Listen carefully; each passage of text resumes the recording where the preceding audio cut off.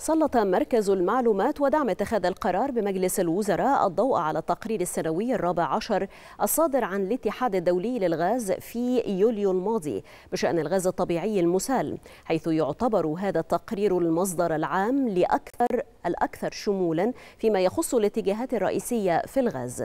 أشار التقرير كذلك إلى أنه على الرغم من أن عام 2022 كان عاما مضطربا في تاريخ أسواق الغاز إلى أن الغاز الطبيعي المسال أظهر قدرة كبيرة كمصدر أساسي للطاقة يتمتع بطاقة ومرونة موثوق بهما للانتقال الآمن للطاقة.